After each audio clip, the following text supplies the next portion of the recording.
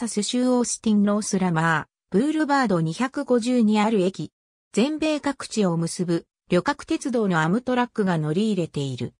ミズーリパシフィック鉄道のために1947年に建てられたオースティンのレンガ造りの駅は乗客のための小さな待合室、切符売り場やトイレがある。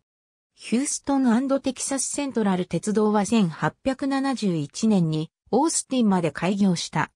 建築家、アブナー・クックとカール・シェーファーによって設計された石像の駅舎は1871年から1872年まで供用された。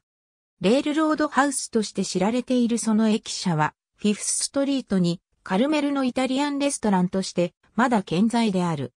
その駅舎が建設された時点で他の鉄道と4本の馬車路線を利用する乗客により使用されていた。アムトラックの停車する列車は下記の通り。南行列車のシカゴ出発便はサンアントニオでサンセットリミテッド号と並結され、ロサンゼルス行きとなる。シカゴとサンアントニオ間は毎日運転。北行列車のロサンゼルス出発便はサンアントニオまでサンセットリミテッド号と並結され、同駅で切り離し、サンアントニオとシカゴ間は毎日運転。当駅から乗車できるバスは以下の通り。ありがとうございます。